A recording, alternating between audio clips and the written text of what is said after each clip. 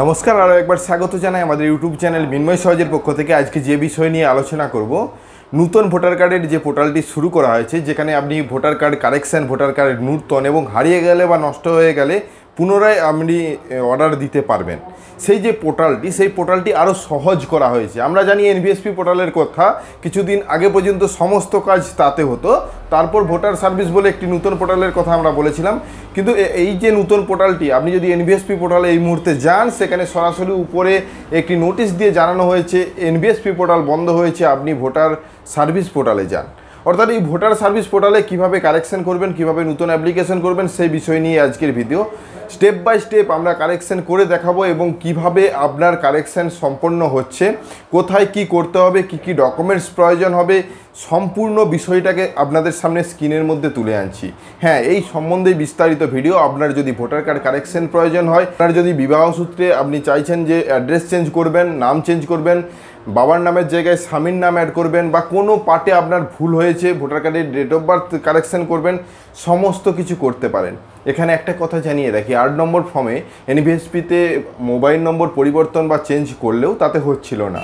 কিন্তু বর্তমানে আপনি মোবাইল নম্বর অ্যাড করে ডাউনলোডও করতে পারেন ভোটার কার্ড সেই পদ্ধতির বিস্তারিত তথ্য নিয়ে আজকের আমাদের ভিডিও অবশ্যই ভিডিওটাকে স্কিপ না করে লাস্ট পর্যন্ত দেখুন এবং আমাদের সাথে থাকুন। আরেকটা ছোট্ট অনুরোধ, যদি আপনি আমাদের চ্যানেলে নতুন এসেছেন, অবশ্যই চ্যানেলটাকে সাবস্ক্রাইব করবেন। পাশের দেওয়া বেলাইকনটা ক্লিক করতে ভুলবেন না পরবর্তী নোটিফিকেশন পাওয়ার জন্য। যারা অলরেডি সাবস্ক্রাইব করে আমাদেরকে সাপোর্ট করছেন, অসংখ্য ধন্যবাদ। হ্যাঁ আমরা কথা বলছি ভোটার কার্ড কারেকশন কীভাবে করা সম্ভব? নতুন যে পোর্টাল অর্থাৎ ভোটার সার্ভিস পোর্টালের মাধ্যমে। তো ভোটার সার্ভিস পোর্টালের মাধ্যমে সরাসরি আমরা ওদের অফিসিয়াল হোম পেজ যেটা ভোটার সার্ভিস পোর্টাল সেখানেই যাব এবং সেখানে গিয়ে রেজিস্ট্রেশন পার্ট থেকে শুরু করে একদম সাবমিট করা পর্যন্ত আপনাদেরকে দেখিয়ে দেবো। চলুন সরাসরি স্ক্রিনে চলে যাই এবং বিস্তারিত ডিটেলস আমরা স্ক্রিনের মধ্যে আলোচনা করছি। এনভিএসপি পোর্টালে বর্তমানে ভোটার কার্ডের কোনো কাজ হচ্ছে না। সেজন্য যে নতুন official website voters dot EPCI dot GOV dot in এখান থেকে যাবতীয় কাজ করতে হবে। আজকে যেহেতু কারেকশন কীভাবে করবেন, তার পদ্ধতি নিয়ে। কারেকশন অনেকেই করতে চাইছেন, কারণ আধার ভোটার কার্ড যখন, ভোটার কার্ড দিয়ে আধার কার্ডের ভেরিফিকেশন করতে যাচ্ছেন, অনেকে রিজেক্ট করেছে। তখনও, এখনও অনেক টাইম রয়েছে, তার মধ্যে অবশ্যই ভোটার কার্ড কারেকশন করে নতুন ভোটার কার্ড পেতে পারেন। সেই জন্য অনেকেই চেষ্টা করছেন, তাছাড়া এখান থেকে কারেকশন নতুন সমস্ত কিছু আবেদন করা যায়। সেই যে পদ্ধতি, সেই পদ্ধতি নিয়ে আজকের আমাদের ভিডিও। অর্থাৎ যদি পুরনো official website NVSP dot NIC dot ইনে যান, সেখান থেকে উপর দিকে দেখতে পাবেন নতুন যে অফিসিয়াল ওয়েবসাইটটি অ্যানাউন্স করা হয়েছে, সেটার লিঙ্ক দেওয়া রয়েছে। তো যাই হোক, সেখানে আমরা চলে এসেছি। এখানে উপর দিকে সাইন ইন এবং সাইন আপ দুটো অপশান দেখতে পাচ্ছেন প্রথমে আগে রেজিস্ট্রেশন করবেন। তো সাইন আপে ক্লিক করবেন। ক্লিক করার সাথে সাথে এখানে মোবাইল নম্বর ক্যাপচার কোড দিয়ে সেন্ড ওটিপি করতে বলা হবে। দেখাচ্ছে যে অলরেডি রেজিস্টার অর্থাৎ এই নাম্বারটা এনবিএসপি পোর্টালে যদি রেজিস্ট্রেশন হয়ে থাকে, তাহলে কিন্তু অলরেডি রেজিস্টার লেখা উঠবে। তো সেক্ষেত্রে আপনাকে ফরগেট করতে হবে। তো সাইন ইনে আমরা ক্লিক করলাম। সাইন ইনে ক্লিক করার সাথে সাথে কিন্তু এই ফরগেট অপশানটা পাবেন। ফরগেট যে পাসওয়ার্ড সেই অপশানে ক্লিক করবেন। একইভাবে মোবাইল নম্বর ইনপুট করার কথা বলছে ক্যাপচার কোড দিয়ে সেন্ড ওটিপি করবেন। সেন্ড ওটিপি করার সাথে সাথে একটা ওটিপি যাবে এবং ওটিপি দিয়ে ভেরিফাই করতে হবে। এখানে একটা বিষয় জানিয়ে রাখি, যখন আপনি রেজিস্ট্রেশন করবেন, সেখানে ওটিপি যাবে। ওটিপি দেওয়ার পর আপনার ভোটার কার্ড আছে না নেই সেটা জানতে চাওয়া হবে। যদি নাই বলেন, তাহলে নাম ডিটেলস দিয়ে রেজিস্ট্রেশন করতে পারবেন এবং অবশ্যই সেখানে পাসওয়ার্ড একটা লিখতে বলা হবে। এবং যেখানে এখানে ওটিপি দেওয়ার পরেও আমাদেরকে পাসওয়ার্ড লিখতে বলা হবে। তাছাড়া ভোটার কার্ড নম্বর ইনপুট করলে নাম ডিটেলস লিখতে হবে না। তো যাই হোক, এখানে ওটিপি দিয়ে আমরা ভেরিফাই ওটিপি এ ক্লিক করলাম। ভেরিফাই করার সাথে সাথে পাসওয়ার্ডে লেখার জায়গা আছে যে দুবার একই পাসওয়ার্ড লিখতে হবে। উপর দিকে পাসওয়ার্ডটা কী ফরম্যাটে হবে সেটা কিন্তু লেখা রয়েছে। তো স্পেশাল ক্যারেক্টার নাম্বার এবং ওয়ার্ড মিশিয়ে কিন্তু একটা পাসওয়ার্ড তৈরি করবেন, যেটা আগের থেকে লিখে রাখবেন। তারপর এখানে রিসেট পাসওয়ার্ডে ক্লিক করবেন। রিসেট পাসওয়ার্ডে ক্লিক করার সাথে সাথে password has been successfully change বা পাসওয়ার্ডটা চেঞ্জ করা হয়েছে বা নিয়ে নেওয়া হয়েছে। আবার পুনরায় লগ ইন সেকশনে এসেছি, এখানে আপনার মোবাইল নম্বরটা দিবেন এবং পাসওয়ার্ড দিয়ে ক্যাপচার কোড দিয়ে ভেরিফাই ক্লিক করে লগ ইন করবেন। লগ ইনে ক্লিক করার সাথে সাথে আপনার ড্যাশবোর্ডটি এরকম আসবে যেখানে সাইন ইন বা সাইন আপের অপশান এসেছিল, সেখানে বর্তমানে লগ আউটের অপশান এসেছে। যেহেতু আমরা কারেকশন করব, এখানে অনেক ধরনের ফর্ম দেখতে পাচ্ছেন এখানে ফর্ম এইটে কারেকশন হবে শিফটিং কারেকশন সমস্ত কিছু একটাতেই, অর্থাৎ ফর্ম এইটেই সম্পন্ন হচ্ছে।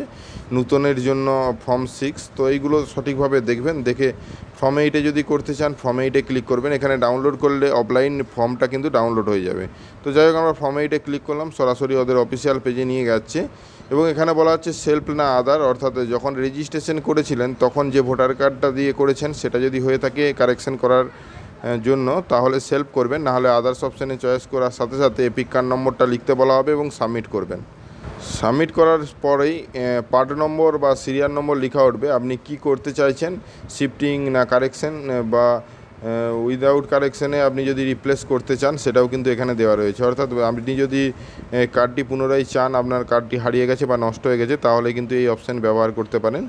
এবং যদি ডিসেবিলিটি পার্সন হয়ে থাকে, সেক্ষেত্রে এই- অপশানটা ক্লিক করতে পারেন। তো কারেকশন যেহেতু করব, কারেকশানে ক্লিক করে ওকে করলাম।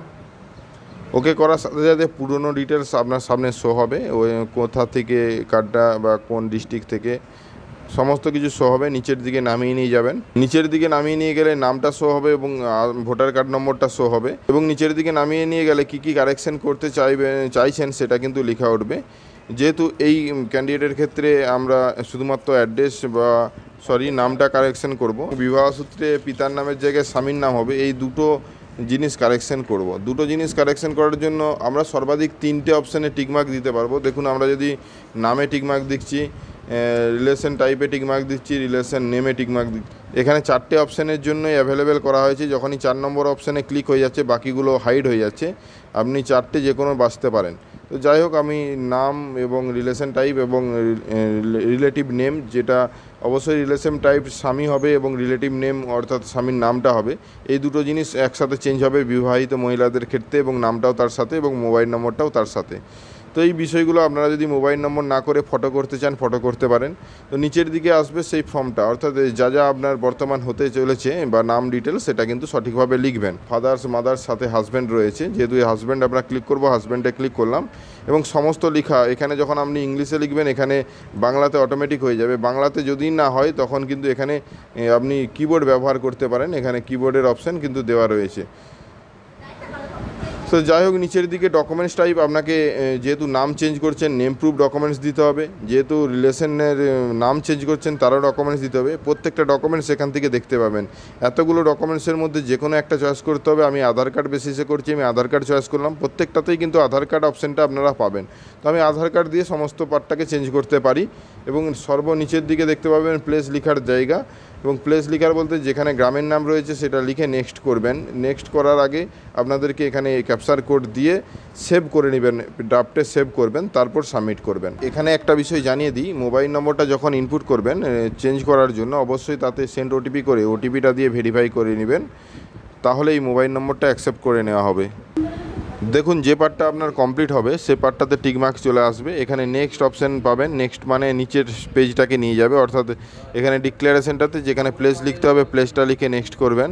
দেখুন নেক্সট করার সাথে সাথে সমস্ত ডিটেলস টিকমার্কস হচ্ছে, কিছু ডিটেলস সাবমিট হয়নি। তো এখানে দেখুন, সমস্ত টিক চিহ্ন হতে হবে, এখানে ডিটেলসে টিক চিহ্ন হয়নি হয়নি একটাই কারণ, এখানে নেক্সট অপশানে ক্লিক করতে হবে। নেক্সটে ক্লিক করে দিলেই আপনার এগুলো সব টিকমার্ক হয়ে যাবে।